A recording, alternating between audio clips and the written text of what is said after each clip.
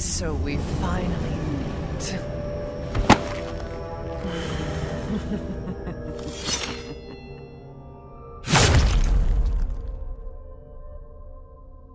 Olá, pessoal! Estamos começando mais um podcast, o Face Your Fear, que é o podcast oficial do Resident Evil Database. Eu sou a Monique Alves, eu tenho essa mania de não me apresentar, então agora eu tô pegando o hábito de me apresentar, né, gente? E hoje estamos aqui para falar do Resident Evil Showcase, que foi aquele evento da Capcom para falar sobre o futuro de Resident Evil, especialmente, né, Resident Evil Village, que é o próximo jogo da franquia. E eu estou aqui mais uma vez com meu amigo MF, o Mr. Fanfarrão, Master Fanfarrão, Mr. ou Master? Na verdade é mestre, mestre fanfarrão.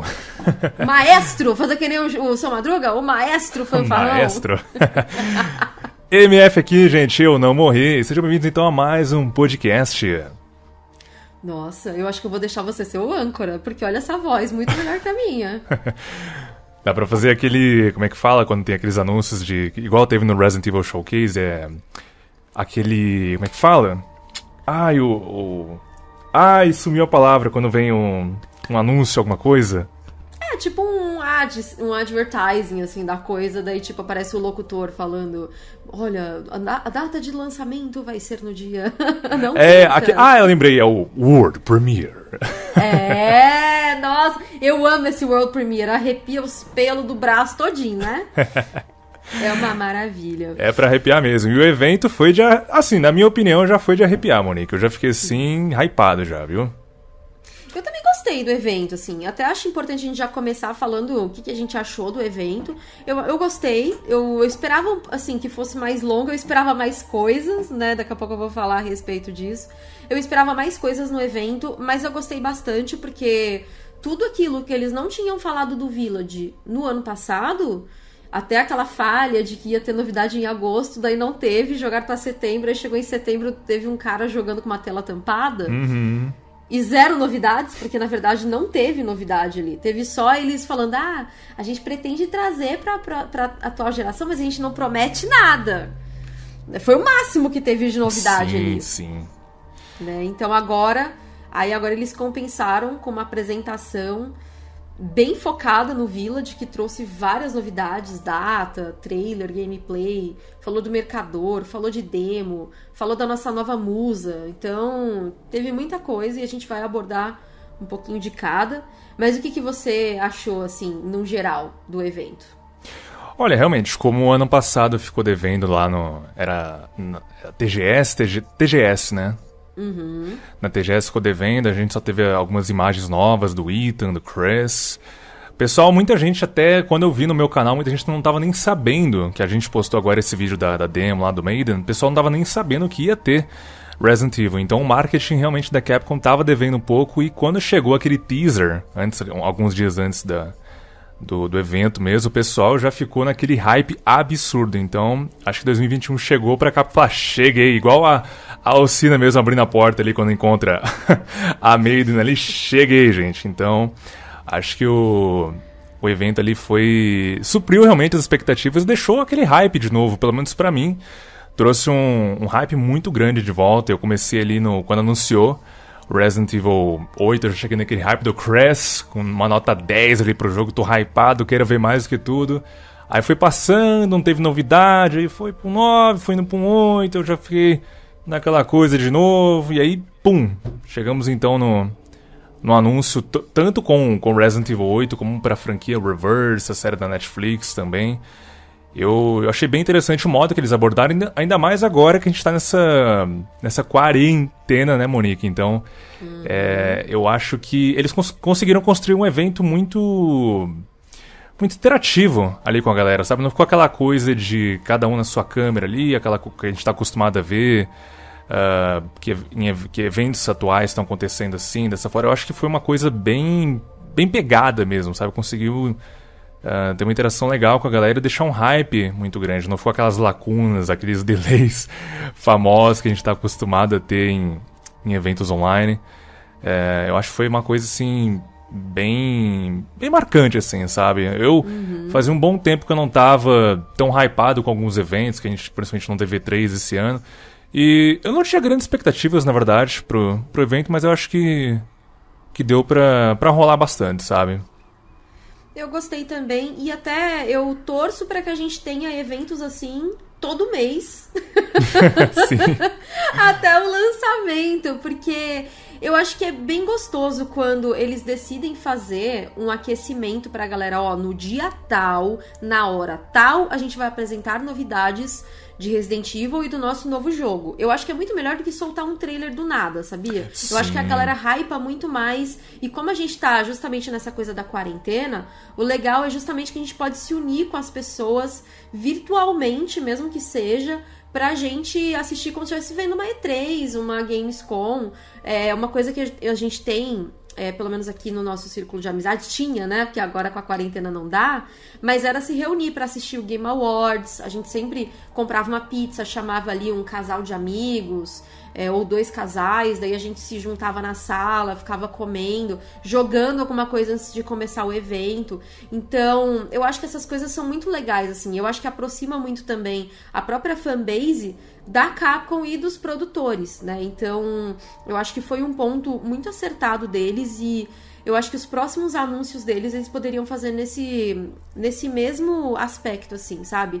Ou pelo menos, por exemplo, ah, vai ter um novo trailer, já cria já coloca no dia tal. Dia tal vai ter um trailer, não importa se é de um minuto. Que nem eles fizeram com o próprio Resistance, né? Que eles falaram, ó, no dia tal a gente vai revelar um negócio, tal horário. E aí colocar ali como um ao vivo, em vez de estreia, porque na estreia não deu muito Sim. certo, que a galera conseguiu é, arrancar umas imagens ali do, do preview do YouTube.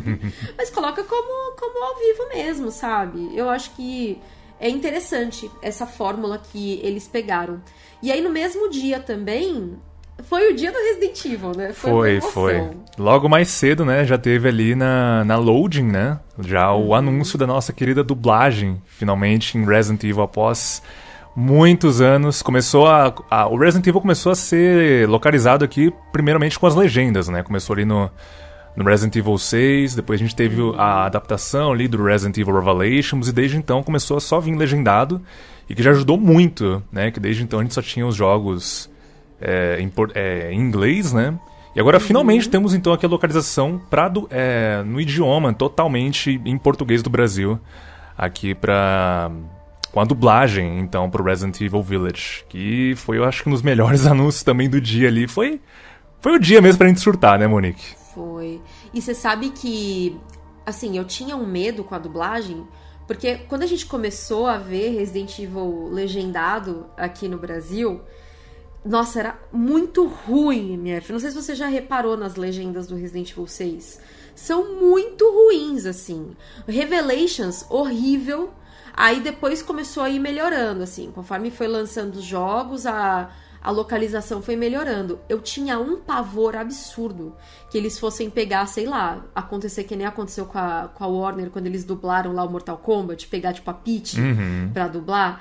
E eu sempre falava assim: olha, gente, se for pra dublar assim, é melhor não ter. Nada contra a Peach, pelo amor de Deus. Mas se for pra ter, é, se for pra ser assim, é melhor não ter. Se, Se for, pra for- ter, tem que ser bom. Se for pra Alcina equalizar nossa cara, melhor não, né?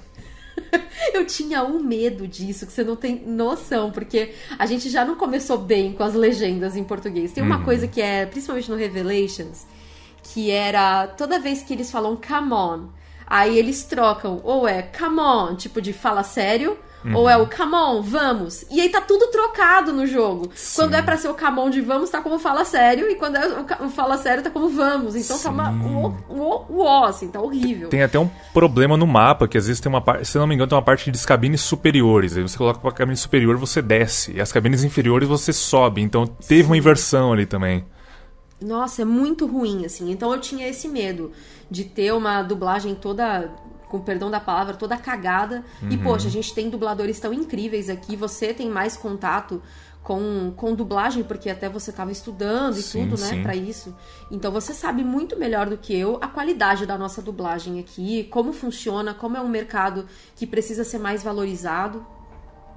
Sim, sim. E realmente, esse era um dos medos que eu tinha referente à dublagem. Uh, a dublagem aqui no Brasil, ela começou nos jogos, começou é, engatinhando ali ainda. Tivemos alguns exemplos de dublagem não tão boas quanto é no caso do God of War Ascension, que eu acho que, para mim, uma das melhores vozes ali acaba sendo do Ricardo Juarez, tanto que ele reprisou o papel do Kratos no God of War 2018.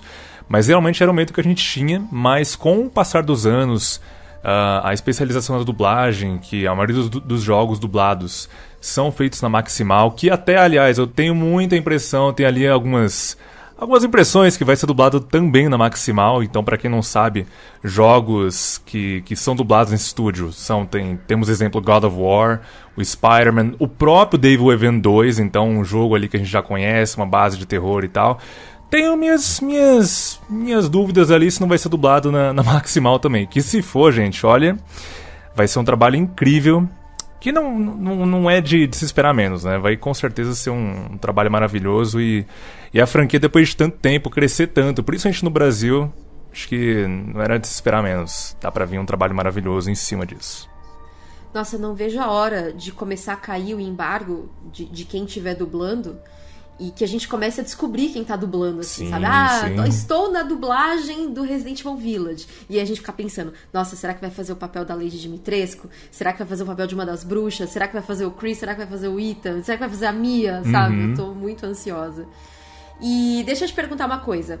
Você tinha expectativa de alguma coisa nesse evento que não aconteceu? Porque, por exemplo, a Capcom tava dando aquelas dicas, né, com alguns GIFs de jogos clássicos. Só que depois ela começou a mostrar do 4, do 5, do 6, do 7. Eu falei, ah, não.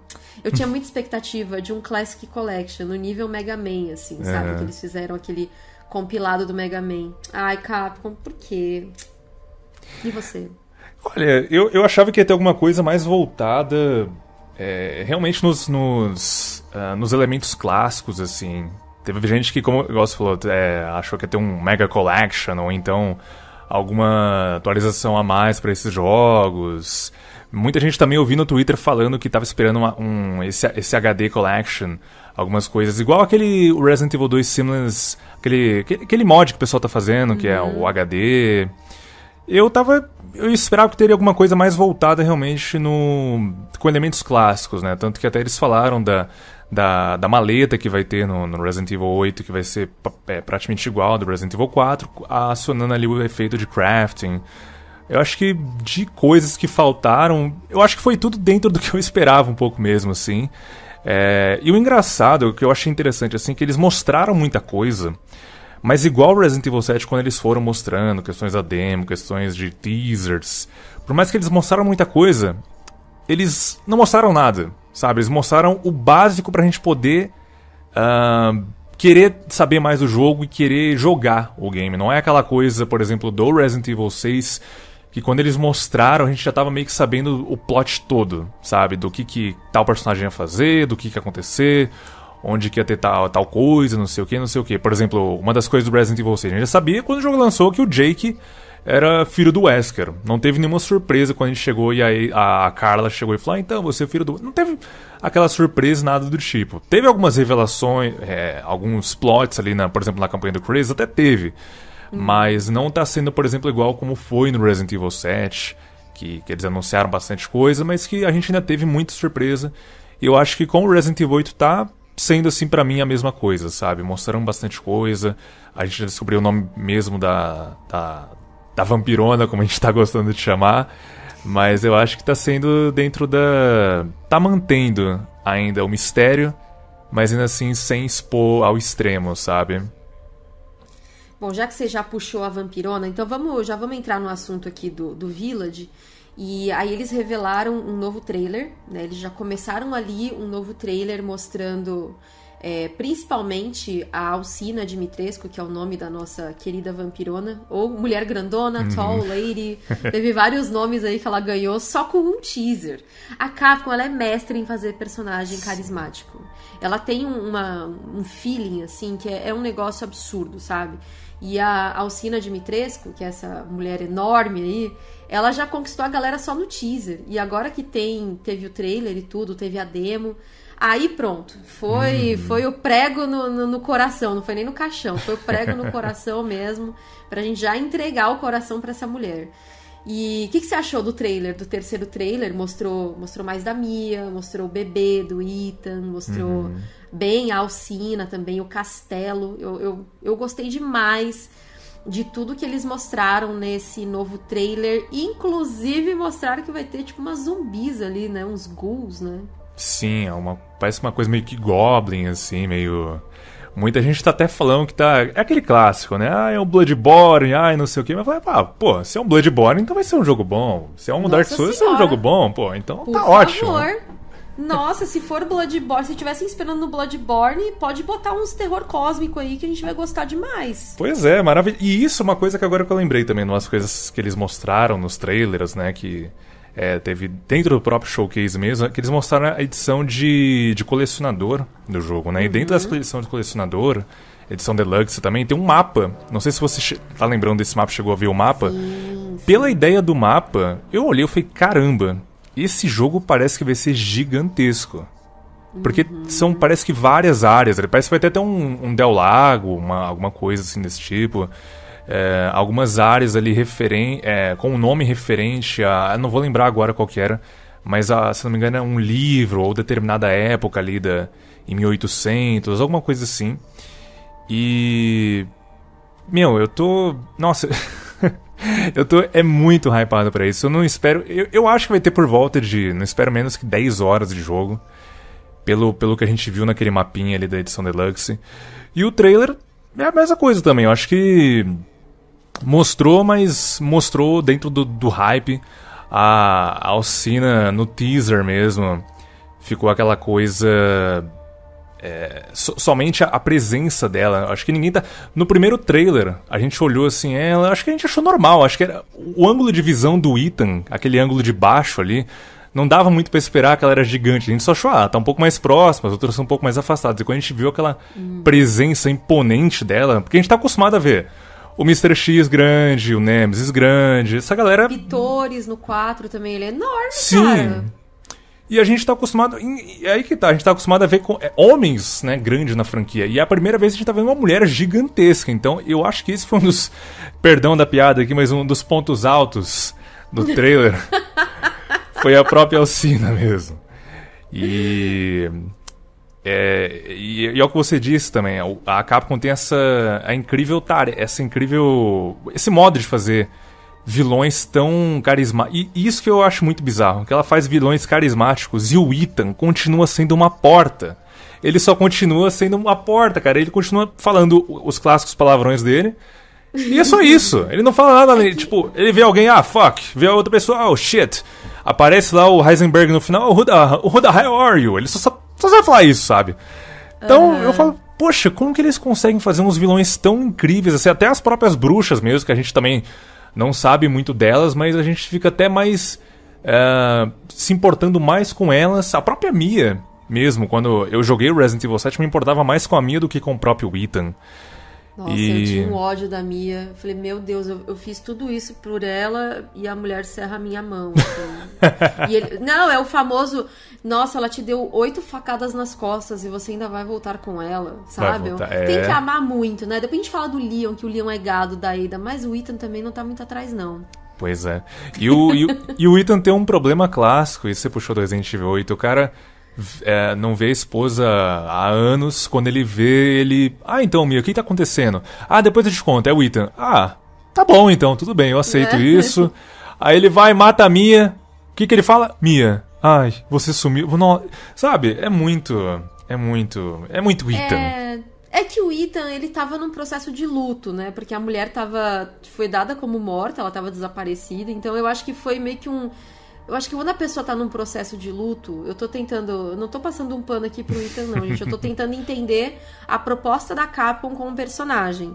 Quando a sua mulher está desaparecida, ela tá dada como morta, e três anos depois aparece uma- um e-mail dela falando que ela tá num tal lugar, você vai? Não, você manda a polícia. Exato. Mas, quando você tá em luto, você faz umas coisas meio loucas, assim. De tipo, tem gente que, que, tá, que tá em luto e deixa, por exemplo, o quarto da pessoa arrumado Uma mãe que perde um filho deixa o quarto do filho arrumado por anos 10, 20 Uhum. anos ali que ninguém pode entrar nem tocar em nada.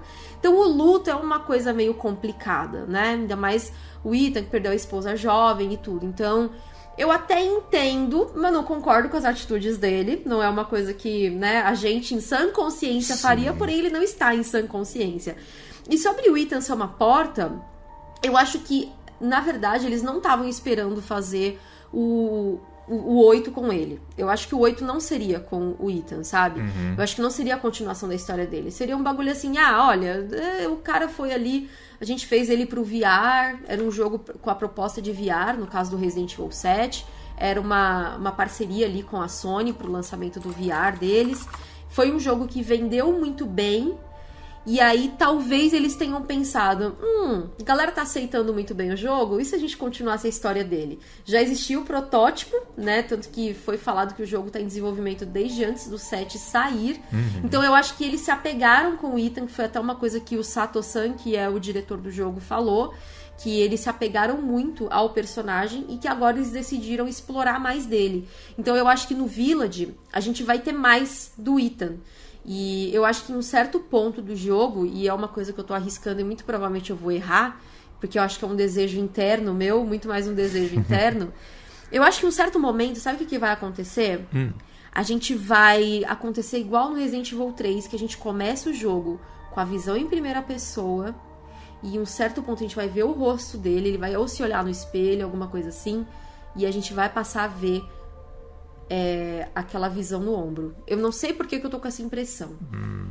Será? Será? Eu, olha, seria interessante essa transição, uma- meio que uma, uma própria evolução, talvez, do Ethan, né? Porque quando você tá em primeira pessoa, você também acaba vestindo aquela. a- a- aquele personagem. Por exemplo, tem um mod do Resident Evil 7 que você joga em terceira pessoa. Só que assim, a experiência é totalmente diferente. Você começa. Porque quando você tá em primeira pessoa, é você. Então você acaba vestindo aquilo, você tem o próprio medo, você. É, é você na situação.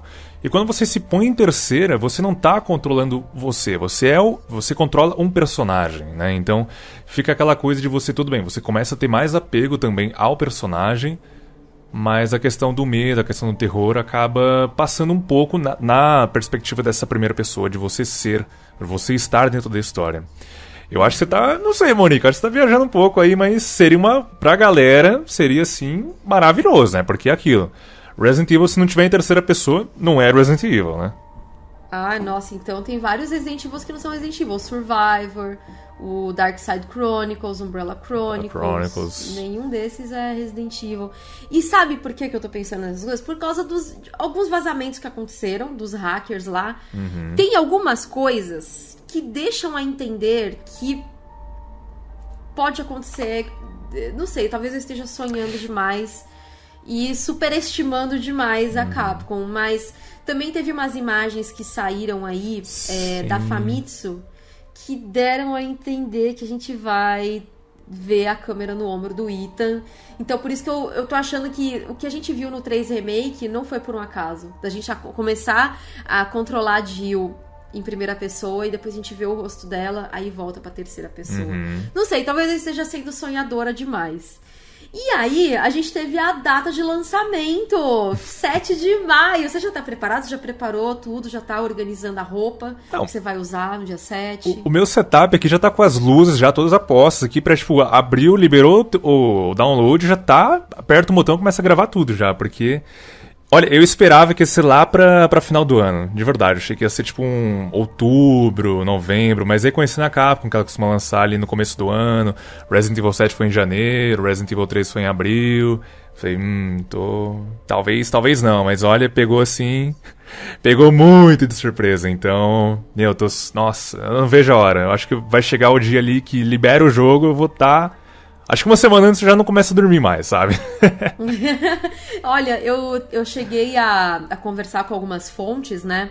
Uma fonte minha tinha dito que ia ser entre abril e maio. E aí eu até divulguei isso na época, o pessoal, não, mas não faz parte do ano fiscal, não é interessante. Aí fui conversar com uma outra fonte, a fonte falou, não, não é interessante não, não sei o que. Eu falei, gente, quem que tá certo, afinal de contas, eu tô ficando bugada. E aí os hackers divulgaram aqueles cronogramas, e tava como fim de abril. Então eu acho que eles só meio que jogaram pra maio, talvez eles estejam arrumando algumas coisas ali, porque, né? Uhum. Vazou um monte de coisa também. Talvez eles estejam pegando esses, esses dias a mais aí pra poder fazer eh, uma. eh, algumas modificações, talvez, não sei, né? Algum um polimento maior também. É, Sei mas dá, dá indo pra, pra galera se, se preparar. Eu só acho que eles. Talvez seja dia 7, 7 de maio, pela questão que é numa sexta-feira. Mas assim, se não for isso, eu acho que eles perte- perderam uma grande oportunidade lançando no dia 8. Né? Afinal, Resident Evil 8, Resident Evil Village no dia 8. Por que, que não lançaram, né? No, no dia 8? Eu acho que foi por causa da sexta-feira, mas se não foi, perderam uma, uma oportunidade ali de, de, de ser no dia 8. É, os últimos jogos foram lançados na sexta-feira, que eu me lembre, assim. O 2 Remake, eu acho que foi lançado na sexta-feira. O próprio 3 Remake também. Eu acho que eles estão. Eu acho que pra eles tá interessante lançar na sexta-feira. Se eu não me engano, o 7 foi lançado numa terça. Mas não tenho muita certeza disso, assim. É, mas, mas é é bom que- interessante. É bom que a galera lança na sexta, o pessoal já faz a. já pega aquela pizza, chegou do trabalho, já tá ali na- nos esquemas já. Então é aquele dia pra realmente. Vou pegar hoje pra é, zerar, destruir, zerar esse jogo até o, até o talo aqui, o Resident Evil. É que nem pegar a fita na locadora, né? Ficar no fim de Isso. semana todo. Devolve É. só na, na segunda-feira só. ah, eu tinha muito costume de fazer isso. Nossa, era sexta-feira, tinha aquela. Lembrei até agora daquelas fitas. Fita gold, fita, fita prata, fita bronze. Nossa, que, que nostalgia que bateu agora. E o gameplay, o que, que você achou do gameplay que eles mostraram mais assim do castelo, aquela decoração mais barroca? Você gostou do que mostrou no, no gameplay, que o Peter Fabiano ia narrando e tudo? Olha, eu me senti, sabe até onde? No, no Devil May Cry. No Devil May Cry, no Resident Evil 3.5, algumas coisas que eles descartaram, parece que eles estão utilizando aqui. Aquela, aqueles corredores mais circulares, ah, aqueles corredores mais, em alguns momentos, assim, mais retos também, não aquela coisa tão dispersa, assim. Eu, eu achei bem interessante, por mais que o, o nome é Village, a gente joga num castelo, teve gente até que falou, ué, mas assim é num castelo, não era na vila? Mas pelo que, pelo que eu vi, assim, a, a temática tá muito interessante, tá muito legal, você se sente mesmo numa coisa... é, até passa essa ideia dessa transição que vai ter no jogo da vila para o castelo. Ah, aquelas ah, aquelas paredes com ouro. Ah, Meu, eu me senti muito confortável jogando o jogo, sabe? Nada do que passou ali eu me senti tipo, mano, isso daqui tá muito. Não tá, como a galera fala, não tá parecendo Resident Evil, sabe? Não. Eu vi o, o gameplay, tanto jogamos também na demo, com o que eles mostraram, as partes extras também. Cara, eu me senti assim, confortável, sabe? Não, não bateu nem um pouco aquele medo de. Meu, eu acho que tá esquisito isso, como às vezes acontece ah, em outros jogos, da, pelo menos comigo, né? No caso, minha opinião, por exemplo, no Resident Evil 6, algumas partes. ah, aí já vem aquela nossa, aquele nosso meme, né, Monique, do Resident Evil Revelations 2. Então, eu acho que no, no R8, pelo que a gente viu ali, eu tô, eu tô confortável, sabe? Eu tô me sentindo, como o Jack diz, tô me sentindo em casa. Bem-vindo à família, filho. Aliás, já que você citou esse negócio do Revelations 2, eu vou abrir um parênteses aqui te fazer uma pergunta.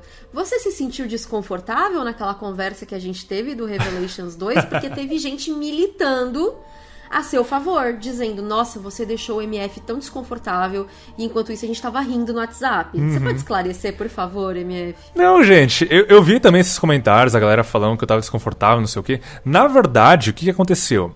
Eu não queria, de fato, falar totalmente minha opinião para o Revelations 2, porque eu não tava no meu canal. Então, quando a gente vai para um outro para um outro meio, para outra coisa, a gente tenta ficar um pouco mais ah, tomando cuidado com o que a gente vai falar, porque é um outro público. Então, por exemplo, eu sei que se eu for, por exemplo, falar alguma coisa no canal do Max, eu vou ter que falar de um outro modo, que é um outro público. Então, a gente tenta adaptar ah, os modos e tal. Então não é que, gente, não é que a Monique tava me colocando ali no cantinho dando chibatada, não era isso, gente.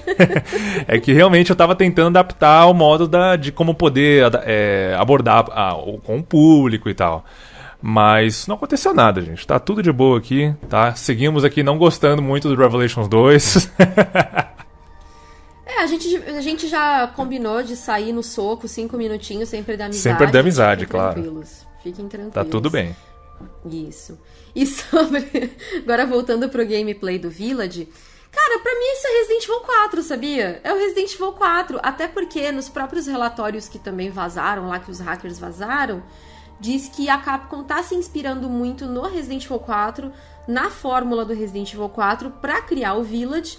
Até porque, muito provavelmente, eles devem estar Uhum. compartilhando assets, né? Elementos ali de jogo com a equipe que tá cuidando do 4 Remake também. Então faz todo sentido dois jogos com temática parecida estarem se- sendo desenvolvidos paralelamente. Eu me senti muito. Até aquele mapa que você falou da edição de colecionador, que tem ali uma criatura, um, tipo um Del Lago, assim.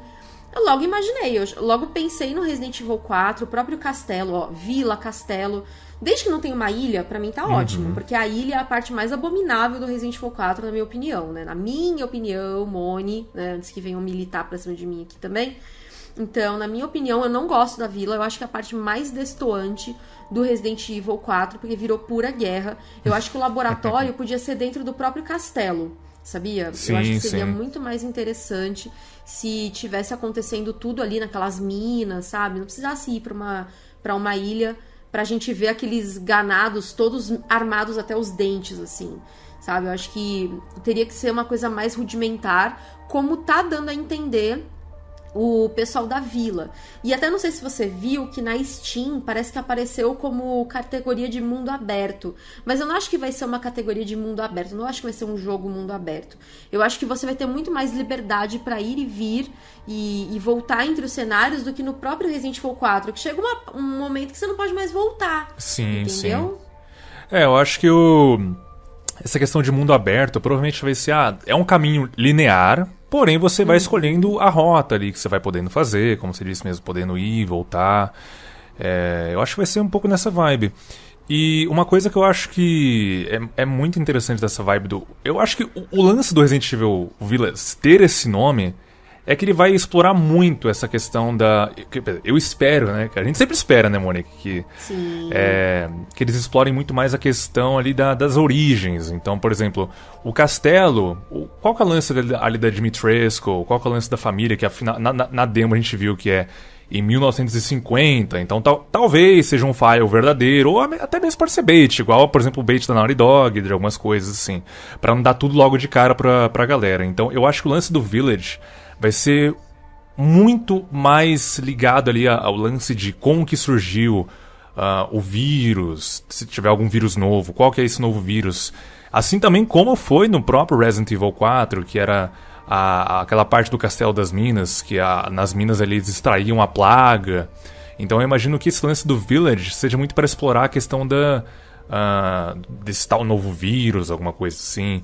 Ah, Até mesmo ah, como que funciona ali essa questão do ah, da, da, da seita da, dos, dos aldeões da vila, no que, que eles acreditam. Eu, eu gostaria muito de ver ah, um Resident Evil mais focado em questão de narrativa mesmo, né?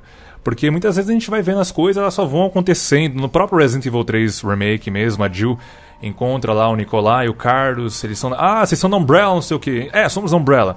Ah, mas a gente tá levando aqui a galera pra, pra, pra um abrigo, não sei o quê. Você quer ajudar a gente? Ah, quero. Então, pronto. Acabou. O negócio já foi resolvido assim. Eu acho que no Village tem uma, um grande potencial de ter uma narrativa maior. Pelo próprio primeiro trailer que a gente viu, parece que vai ter muito, perso ah, muito personagem ah, novo mesmo na, na questão da história. A gente falando que era um, um- um velho lá, até parecido com o próprio Joel, aquela galera rezando ali. Então, eu acho que vai ter uma narrativa bem grande e é o que eu espero. Ah, disso, porque afinal, quando a gente mesmo no- vê o Ethan ah, encontrando lá um senhor na casa e o senhor atira no Ethan, aí o cara fala, o Ethan fala, amigo, amigo, aí o cara fala pro Ethan ficar quieto e aí aparece aquele tal lobisomem. Eu acho que algumas coisas aí, a- aquela vila tá meio que parada no tempo, ou eles acreditam que ah, eles estão num século anterior, alguma coisa do tipo. Uma ou- coisa meio a vila, né? Inclusive, que é aquele filme do Shyamalan. Sim, sim. Ou, ou mesmo eles. ah, uma coisa que eu tinha até comentado em live, que eu acho que eu acharia assim, super interessante deles abordarem assim, talvez aí talvez seja até um pouco piraminha, mas é uma coisa que a galera fala a questão de ah, mas Resident Evil é, é- é arma biológica, então como que eles estão fazendo esse lance de, de colocar vampiro, de colocar lobisomem? Uma coisa que eu achei que poderia ser talvez uma justificativa é o seguinte. Uh, quando a gente cresce, a gente sempre tem aquelas histórias do, do, do homem do saco, do bicho papão, da, da e aqui no nosso folclore tem a mula sem cabeça, a cipererê. E aí eu penso, e se nessa, nessa vibe de querer também, porque assim, alguns vírus foram jogados no mundo, aí no, por exemplo, no Resident Evil 6, só pra jogar o caos mesmo, no Resident Evil 6, uhum. aquela guerra biológica e tal. Mas se alguns vírus, ou então algumas entidades, algumas corporações, usam isso para realmente controlar Aí a gente já vai para um lado talvez um pouco mais político da começa para controlar algum a determinado é, povoado, determinadas pessoas. Então por que não colocar aqueles medos que essas pessoas tinham no passado, alguns contos? Então, por exemplo, esse daí, por exemplo, vamos pegar aqui um, um Drácula da vida, um Van Helsing da vida, um lobisomem da vida, para pegar esses, esses mitos, essas lendas e de fato trazer essas lendas à vida. Porque é uma, uma coisa você vê, ah, um, um morto-vivo, tudo como se fosse natural um, um morto-vivo ganhando vida, uma pessoa que morreu ganhando vida aí. Mas a, eu fico pensando aqui, por exemplo, eu, quando eu era criança, vai, se eu fosse é, medo de vampiro, medo de lobisomem, e aí esse mito vira realidade. Então, eu, nossa, eu acharia muito interessante ver a, a, a as famílias ali, que parece que vai ter um lance de família. A Dimitrescu, Heisenberg, tem um enigma, uma, uma imagem que a, a própria Capcom liberou, que são quatro famílias, parece que vai ter no Village. E eu fico pensando se essas famílias não estão usando o medo desses mitos, dessas coisas, como um próprio. Aí tudo bem, já pode ser um pouco de teoria aqui, mas para estar tá rendendo as pessoas, que parece que é uma coisa meio. Não é um sobrenatural só por ser, mas é como se. Ah, se você pensar num mito, esse mito ganha vida. E talvez esse vírus, essa nova arma biológica tá ganhando vida aqui. Talvez seja só loucura minha, mas eu acho que seria interessante. Não, não é loucura, não. Esse eu medo. Não acho loucura. Eu não acho nem um pouco loucura, sabe? Porque a gente vê hoje mesmo na política. Eu gosto muito desse aspecto político de Resident Evil, inclusive, que a gente tinha nos primeiros ali. A, a Umbrella é, sendo a maior vendedora de armas biológicas para os Estados Unidos ali, os Estados Unidos sendo os maiores consumidores da Umbrella de armas biológicas, e aí estoura tudo o que aconteceu em, em Raccoon, e aí as pessoas é, ficam ali brigando quem que vai ficar com a bucha, uhum. o governo americano ou, ou, a Umbrella, sabe? E aí cada um manda a sua equipe para limpar os rastros ou procurar os rastros um do outro. Então eu gosto muito disso em Resident Evil. Eu gosto, eu gosto muito do plot também, dos Los Iluminados no próprio Resident Evil 4 que querem fazer uma, é, digamos assim, um, uma dominação da sua religião. E também quando uma, uma religião domina também existe uma dominação política porque você tem que dominar a esfera política também. E isso aqui no Brasil não está tão longe. A gente tem a bancada religiosa por exemplo aqui no nosso país então, essa parte de religião e política acaba acontecendo também, sabe? existe essa fusão também, existe a participação da religião na política. Então, eu acho que, dado o contexto da época em que o momento do, do, do momento em que o, o, Resident Evil 4 foi criado, a gente estava vivendo ali aquele momento de caçada ao Osama Bin Laden, sabe? O. Talibã. E, e, eles querendo punir o, o Ocidente por acreditarem no cristianismo, quando a verdade para eles é o islamismo, e a gente não está entrando aqui no mérito do que é correto ou do que não é né? Do que uhum, do, sim, de qual sim. é o certo, né? Até porque eu acho que cada nação acredita em uma coisa e tem a sua verdade entre muitas aspas, né? Então a gente tem que levar em consideração essa época em que o jogo foi desenvolvido também, ele foi lançado e tudo. E eu gosto muito dessa coisa de que pode sim existir um fundo político e de controle, sim, naquelas pessoas. E a gente sabe que a religião é uma forma de, entre muitas aspas aqui, domar pessoas. Então você coloca vários medos naquelas pessoas, inclusive, antigamente existiam muitas lendas de doenças e que falavam, não, isso é maldição. E não, isso não fica muito longe. Eu vi até minha mãe, ela adora ver esses programas que aparece aqueles tumores gigantescos e totalmente desproporcionais nas pessoas. E eu lembro de uma história de um menino, acho que o menino tinha 15 anos de idade, naquelas tribos africanas, em momento atual, tá? A gente não tá falando de coisa de tipo 30 anos atrás, a gente tá falando de momento atual. E a tribo achava que ele tinha uma, uma maldição, então todo mundo se afastava dele, eh, isolou ele, porque achava que não podia ter contato com ele, porque podia pegar da maldição, sabe? Uhum. E não, era um câncer, era um tumor no cérebro, e aí ele começou a fazer o tratamento, já começou a melhorar o rosto, porque o rosto dele estava todo deformado, e aí passou acho que um, dois anos, foi mostrando que ele já estava com o rosto muito melhor.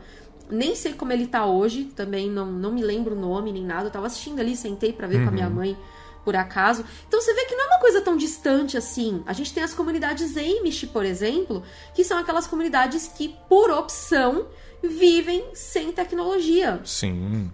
Sim. Então, gente, o mundo, a, a verdade de cada um é muito diferente, sabe? A realidade de cada um é muito diferente. E eu acho que você usar da religião para domar pessoas, controlar, influenciar pessoas, Gente, isso acontece tanto, mas tanto, ainda hoje, nos dias de hoje, sabe? Sim, e uma coisa.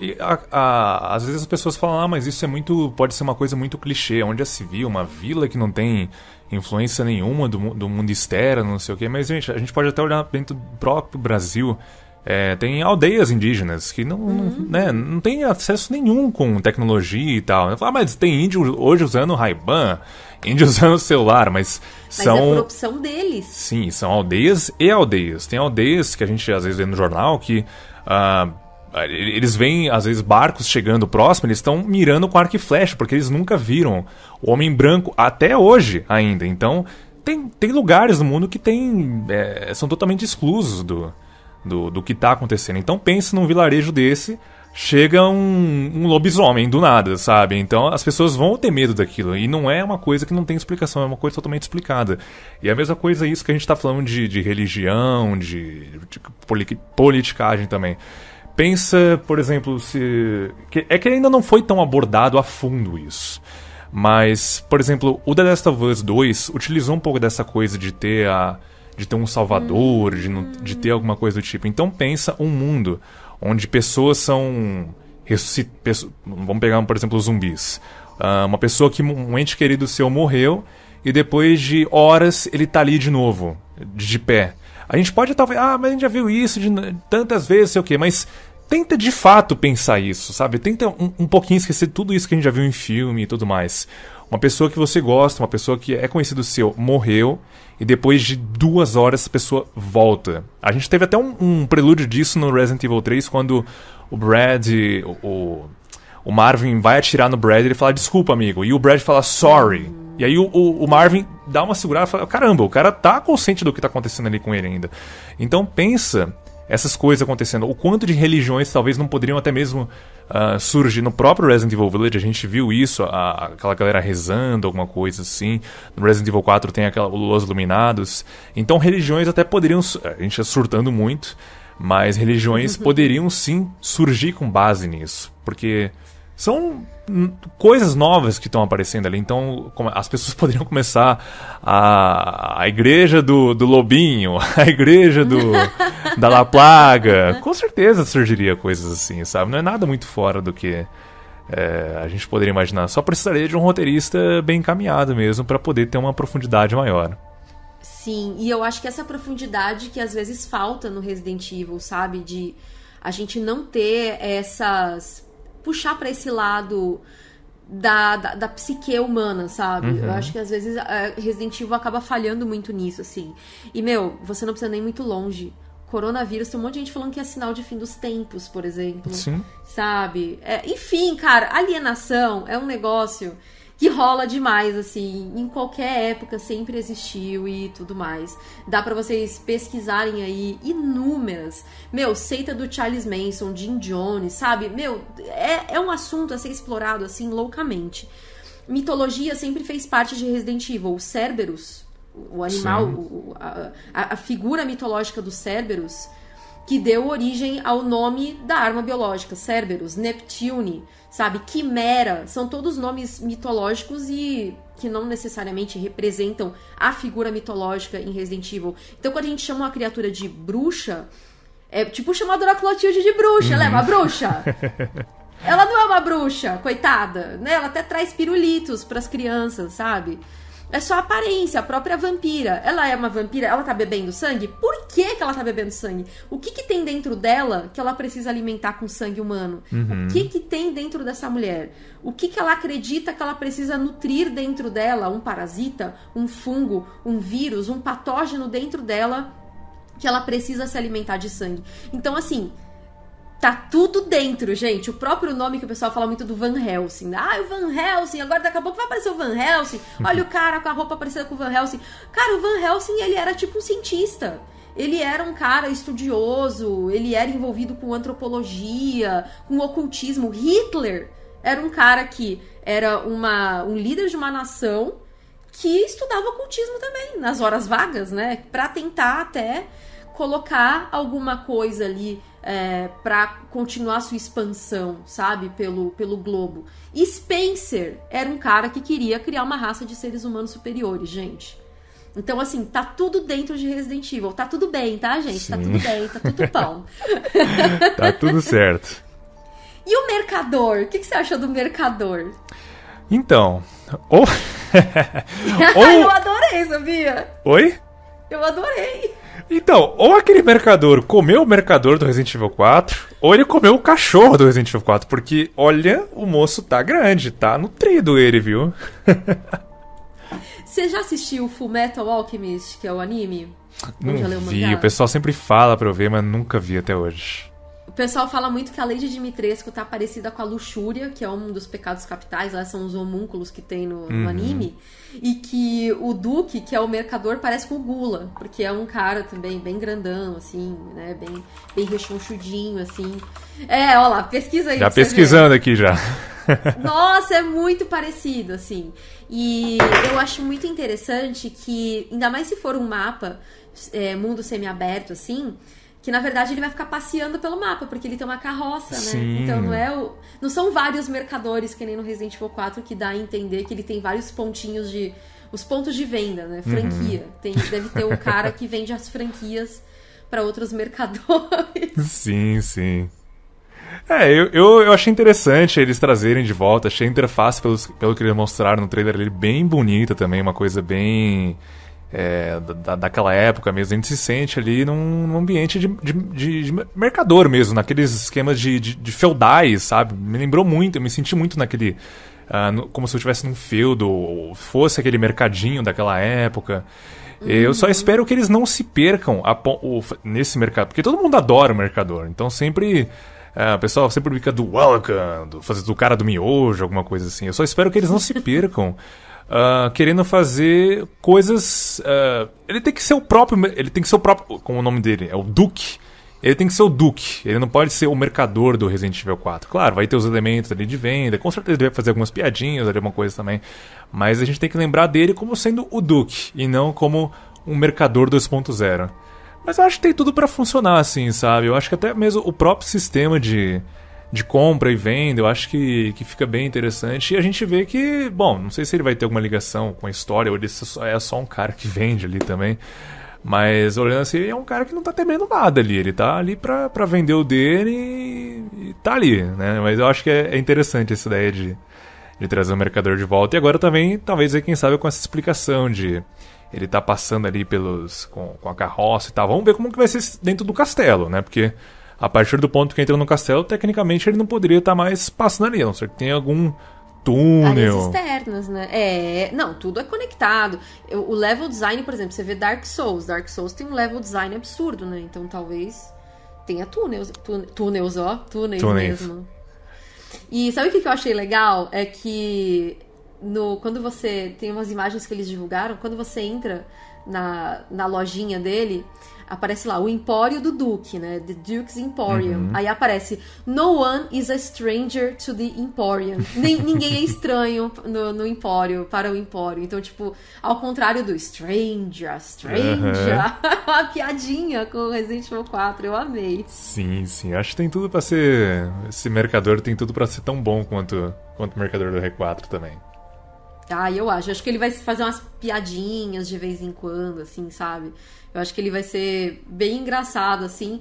E eu acho que, como a galera gosta muito do Mercador do 4, e o Mercador do 4, na verdade, não tem, ele não tem um backstory ali. Eles, na verdade, são vários mercadores, se a gente for parar pra pensar, né? Uhum. Então, eu acho que. O, tanto que alguns estão com o olho mais brilhante, outros não, né?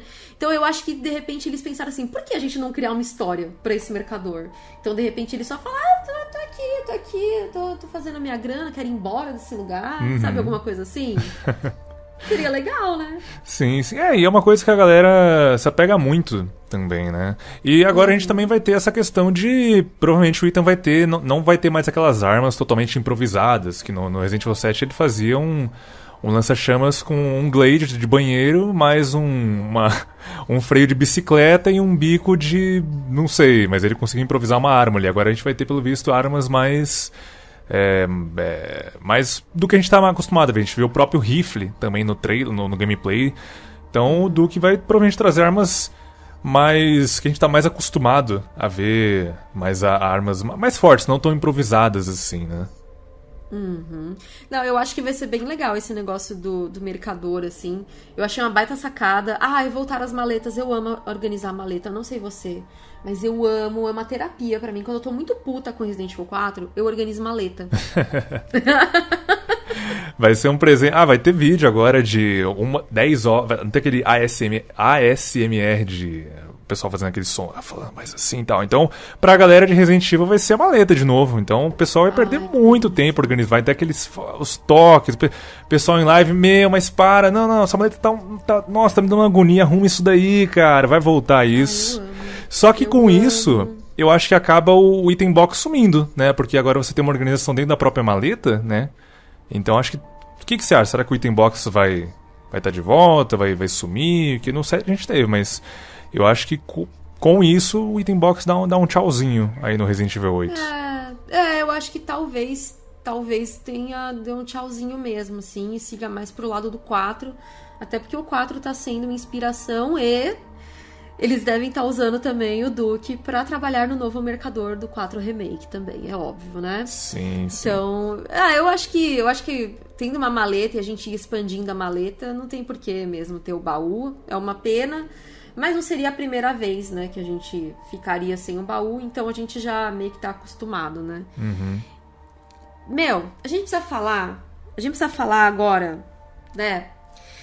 Do reverse. Reverse. Gente. A Capcom ela anunciou, né, o seu multiplayer de Resident Evil que vai vir no mesmo pacote do Resident Evil Village, assim como aconteceu no Resident Evil 3 Remake que vinha o Resistance junto.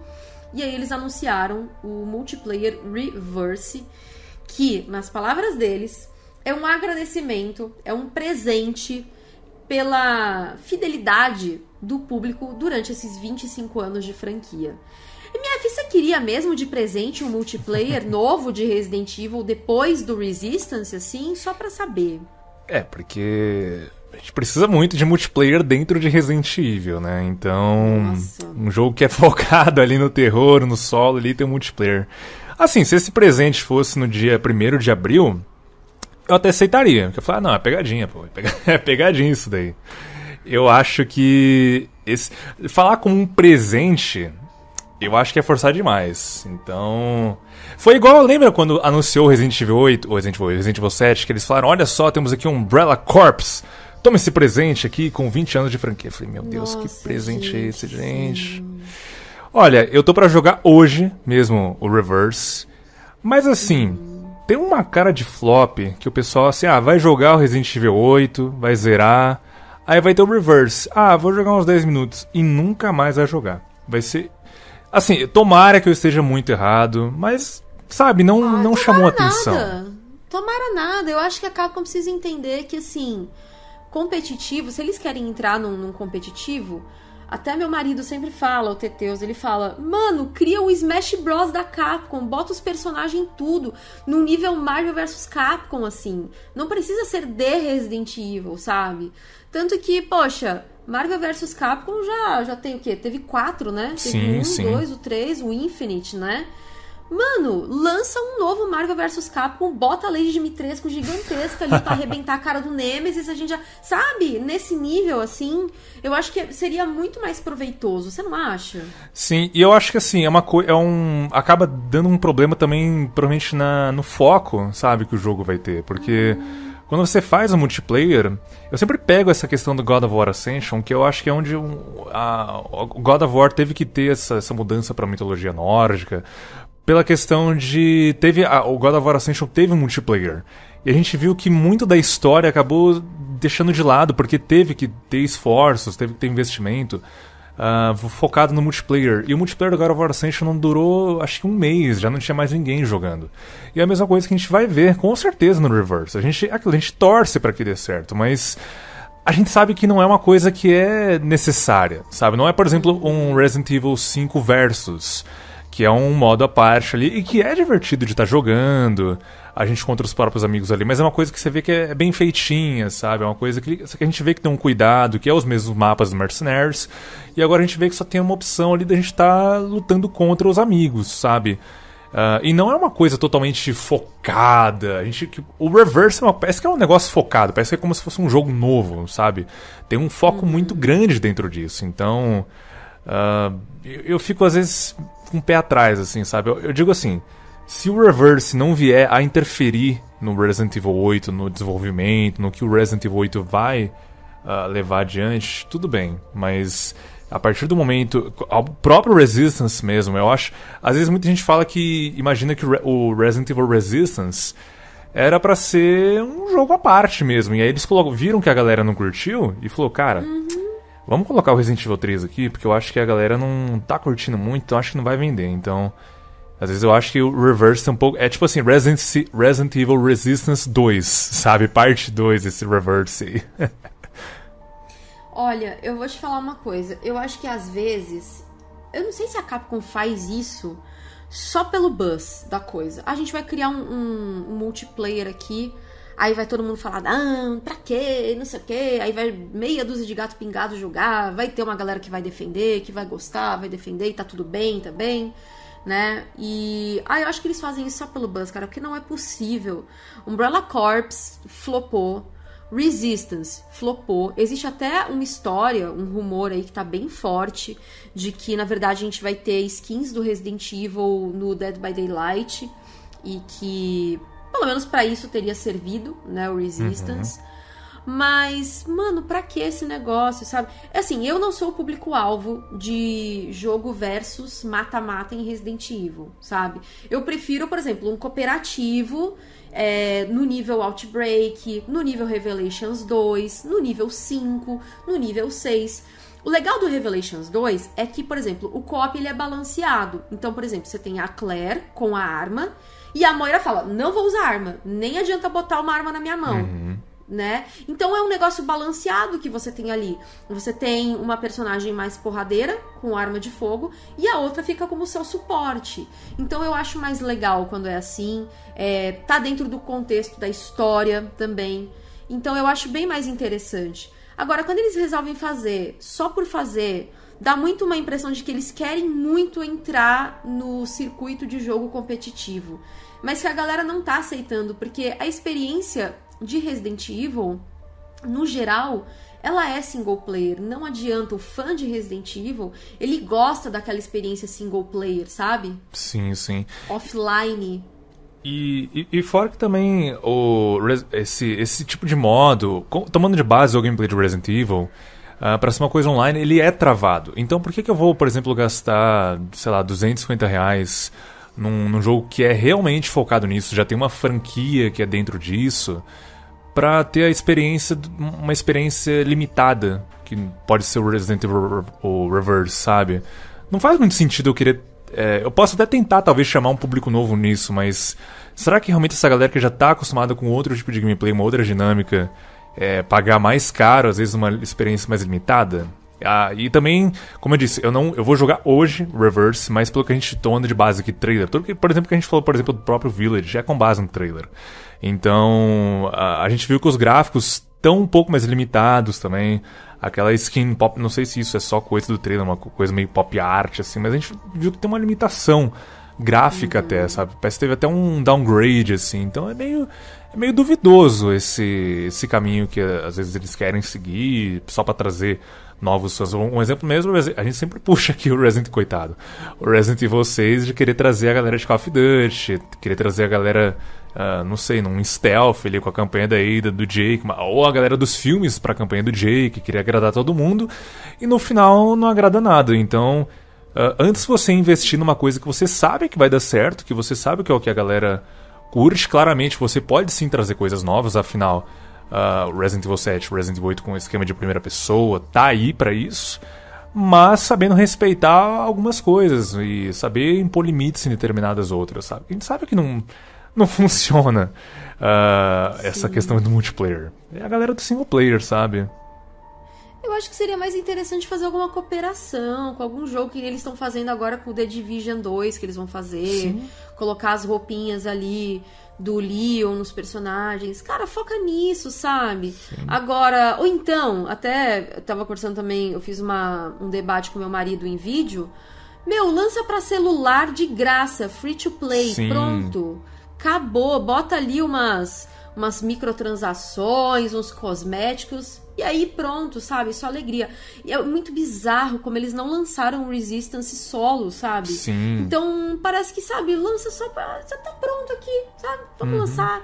Até porque você vê que são as skins dos jogos mais novos. Até aquele Chris do Resident Evil 7. Sim. Que o pessoal fala que é o Luciano Huck. É, mas é o Luciano. É capaz que. Gente, já pensou se o Luciano Huck dubla o Chris no Resident Evil? Meu Deus. Olha. o Luciano Huck já dublou. Ele, então, dublou, porque ele dublou ele lá o Enrolados. Quem sabe ele é... não dubla o Village aí. Não, pelo amor de Deus, não nem brinca com um negócio desse. Apesar que a dublagem do Enrolados não é ruim, ela é boa. É tipo o Fábio Porchat dublando o Olaf, eu amo. Não, mas aí o Fábio é. Porchat é ator, então até, até mas o Luciano Huck... é, ok, é, é verdade, pelo amor de Deus. E aí a gente teve também, é, eles falaram brevemente ali da série CGI da Netflix, que é a No Escuro Absoluto, em inglês Infinite Darkness. E aí teve até um erro que eu acho que é importante a gente citar aqui, né, que a gente tá falando uhum. do showcase, que na legenda, pelo menos em português, eu não vi em, em outras localizações, na legenda tá como filme. Gente, eu entrei em contato com a assessoria de imprensa da Netflix. Eles confirmaram que vai ser uma série no pôster do No Escuro Absoluto tá como série. No release está como série. Então eu acho que foi um erro da legenda mesmo. Sim, é, eu, na, quando eu vi o, o, anúncio lá no showcase, eu até falei, ué, mas filme? Aí eu até fiquei confuso. Na, eu vi o pessoal no chat também, filme, filme, série, não era série. Então, realmente eu achei meio, meio estranho ali também. Eles falam mesmo uh, Resident Evil Series, então Achei que ficou meio. Acho que foi realmente um erro ali na, na tradução, porque afinal também vai ter o filme mesmo do Resident Evil na Netflix, então acho que ficaria meio estranho eles lançarem dois filmes, né? Pra competir um ali com o outro. Não faz muito sentido. Vai ser duas séries, na real, na Netflix.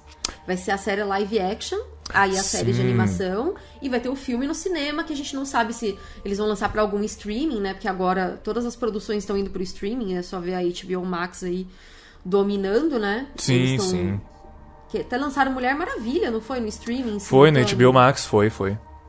É, então. Pra onde será que Resident Evil vai? Porque todos os filmes de Resident Evil saíram da Netflix e não estão, que eu saiba, não estão em lugar nenhum. Será a Capcom lançando uma, uma plataforma de, de streaming, alguma coisa? Porque, bom, eles têm bastante coisa, né? Bastante, querendo ou não, uhum. tem bastante uhum. conteúdo. Uh, tem os filmes em CG mesmo, que. Uh, o Vendetta, o Damnation, então.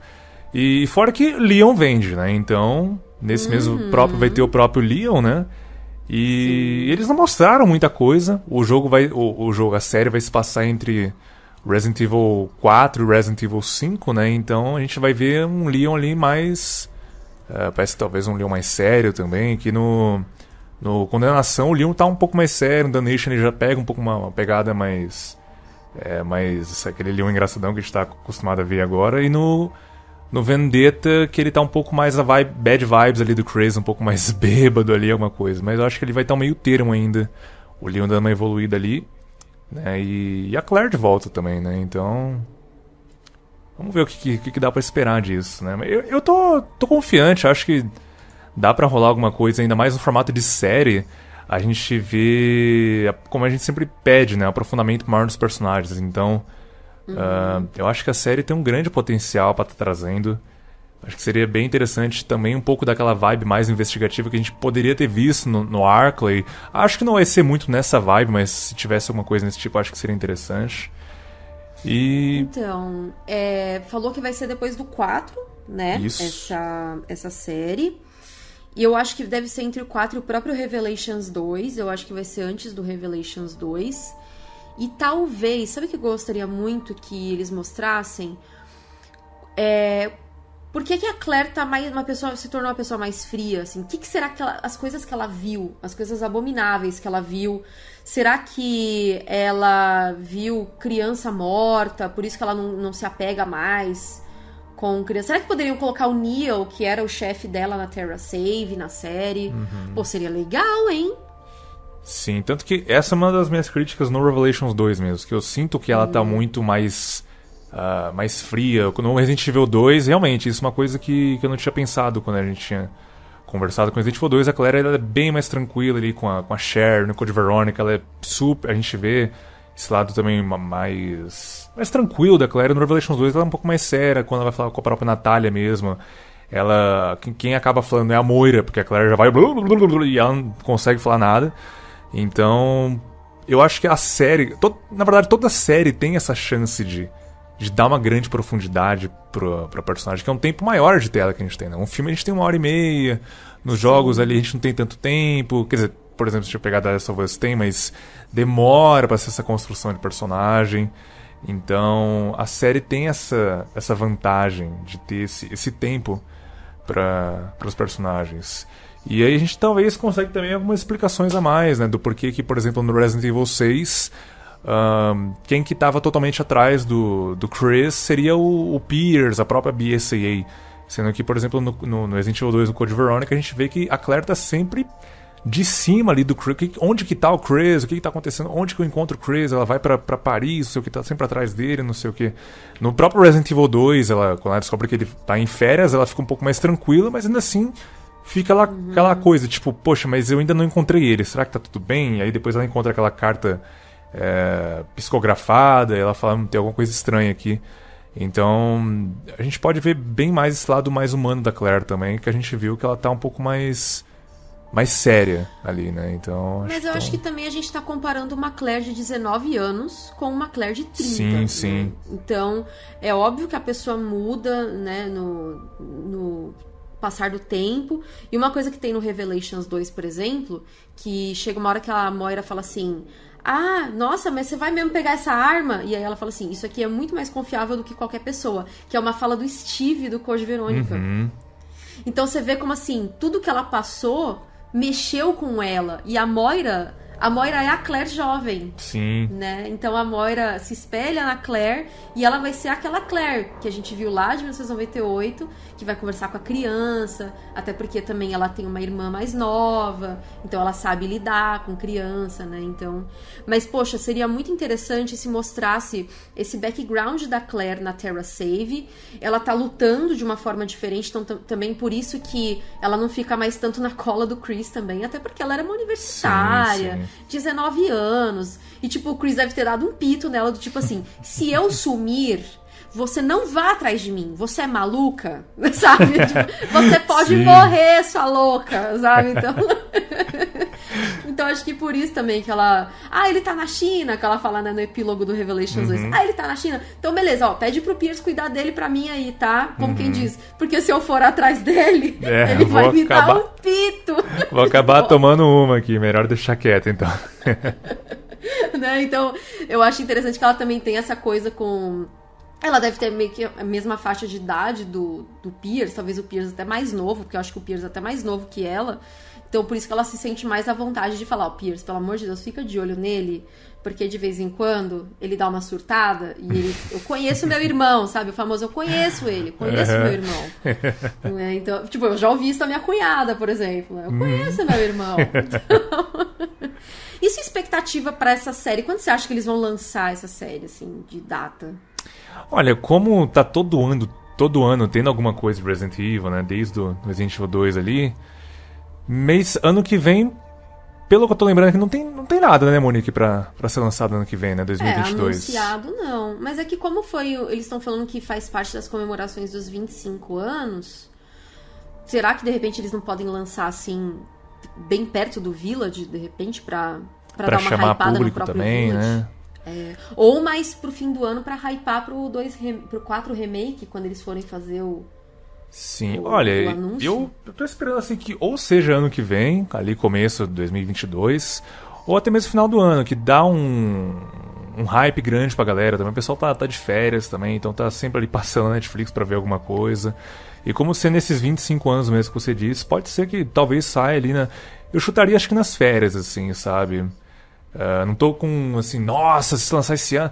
Eu acho que assim, eu vou ver, com certeza. Eu tô, tô numa expectativa boa, mas acho que lançaria por volta disso. Acho que seria uma inteligente pra eles lançar em que Netflix, então férias mesmo, o pessoal tá em casa assistindo. Acho que seria interessante ali.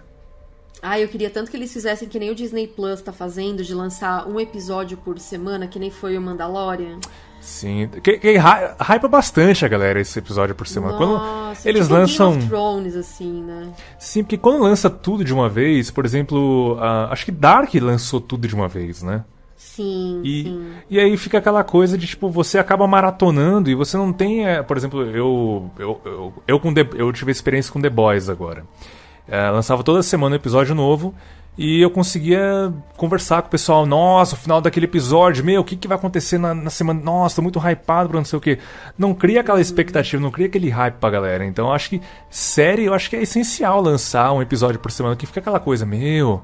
E agora? A galera entrou na, naquela casa lá e apareceu um bichão. O que, que vai acontecer? Acaba ali o episódio. Nossa, semana que vem tô hypado pra não sei o que. Será que é um, um experimento novo?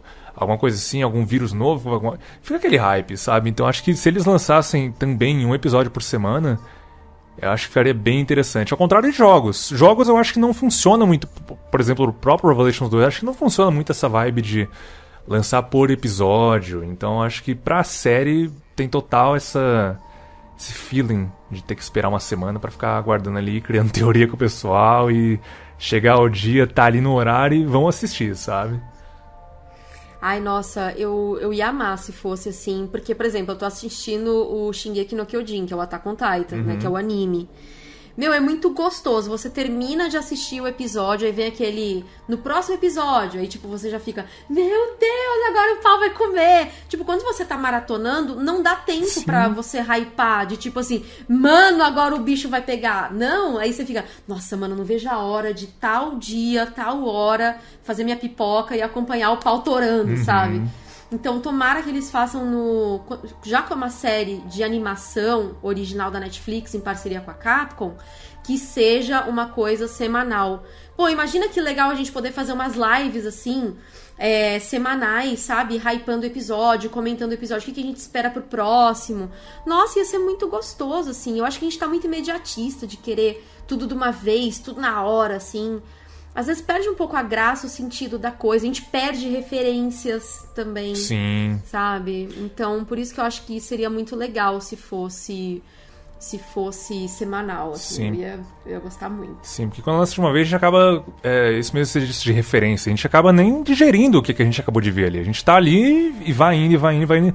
E aí passa, às vezes, um, frame ali, ou às vezes até mesmo uma cena inteira que tinha alguma coisa referente a determinada coisa lá atrás, a gente nem percebe que a gente tá tão ali, meu, só é, engolindo episódio atrás de episódio que passam coisas. Então acho que esse lance de episódio semanal a gente consegue se preparar muito. Fica aquele. É isso mesmo, fica esse, esse hype aí.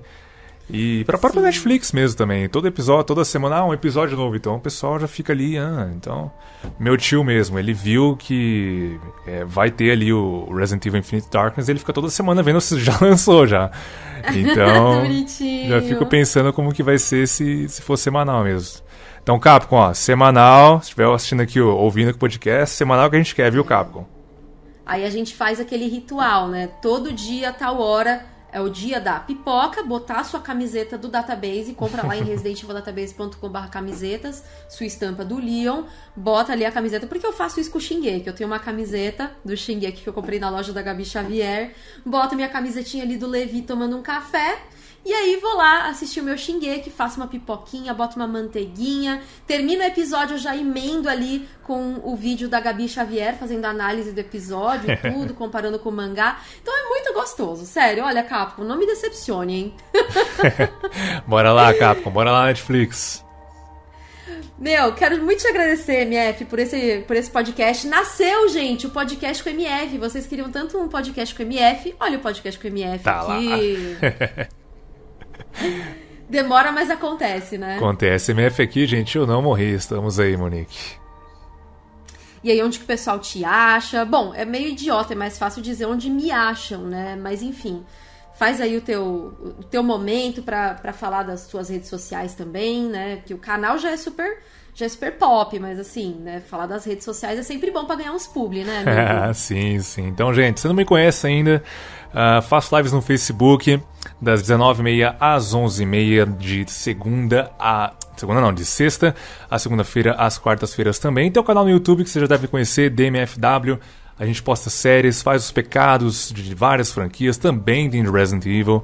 E no Twitter, mesmo nick, só que, só que é ao contrário, MFWTHE, Instagram DMFW. E aí a gente sempre tá aí com conteúdo de Resident Evil, conteúdo da franquia como um todo, tá bom? Então sempre tô lá, sempre precisar, estamos aí.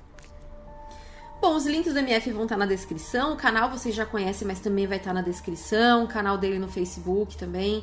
Vai estar tudo na descrição, beleza? MF, obrigada mesmo por você ter vindo conversar comigo aqui sobre Eu o que agradeço, Monique. A gente tava só no WhatsApp, né? Meu Deus, e aí? Você conseguiu dormir? Foi muito legal, muito sim, legal. Sim. E se tiver mais outros showcases, assim, até o lançamento do Village, a gente combina também de fazer alguma coisa junto, se você puder. Não, sempre que sempre precisar, pode contar. Tamo aí, franquia Resident Evil merece um grande sempre que a gente puder contribuir com alguma coisa para a franquia, a gente tá tá aí com a comunidade. E gente, não esqueçam que pra gente poder manter esse podcast é importante que vocês nos apoiem, seja no padrim.com.br barra Resident Evil Database a partir de um real por mês, seja sendo membro do canal do YouTube, clicando no botão Seja Membro a partir de R$ 2,99 por mês, ou então dando seu sub lá na plataforma roxa, que o YouTube não gosta que diga o um nome, que rima com Switch, porque esse podcast vai estar no YouTube também. Assina o Amazon Prime por R$ 9,90 por mês. E sabe o que, que já tem agora no nosso, tanto no canal do YouTube, quanto também no canal do, da plataforma roxa? Emote da Alcina Dimitrescu. Então, aí você pode usar à vontade o emote, tá? Não ela, porque ela não é uma coisa para você usar. grande emote. Grande emote. grande emote, grande dia, né, do emote também.